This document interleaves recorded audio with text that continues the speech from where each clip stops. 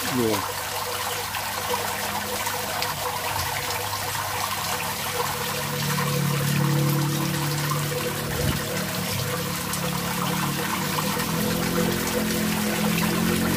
Mana ikan mas? Oh no, ikan mas campur. Nah, ini ikan gurame. Gurame. Ini gurame nih, yang ikan tuh.